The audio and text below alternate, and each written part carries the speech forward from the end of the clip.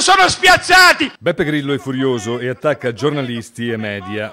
Da mesi orde di trolls, di fake, di multinick scrivono con regolarità dai 2 ai 3.000 commenti al giorno sul blog. Qualcuno evidentemente li paga per spammare dalla mattina alla sera.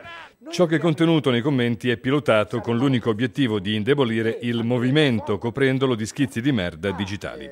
L'ex comico cataloga questo esercito in appellanti per la governabilità del paese, divisori venuti per separare ciò che per loro è oscenamente unito, che chiedono a Grillo di mollare Casaleggio, al Movimento 5 Stelle di mollare Grillo e a tutti gli elettori del Movimento di mollare il Movimento 5 Stelle per passare al sol dell'avvenire delle notti polari del PD-L.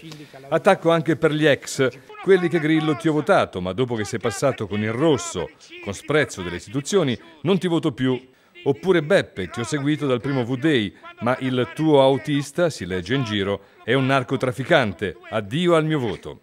E giù mazzate, da questa brodaglia i telegiornali e i talk show colgono fior da fiore con lerci e studiati copia e incolla per spiegare che Grillo è un eversivo, che il Movimento 5 Stelle è spaccato. Dato che nel blog chiunque può commentare, scrive Grillo, ciò non vuol dire assolutamente nulla. Ma le tensioni nei rapporti con il PD e con gli altri partiti non sono solo argomento per imbrattature digitali. In un post del mattino Grillo attacca Piero Grasso, unico procuratore antimafia stimato da Berlusconi, e Laura Boldrini.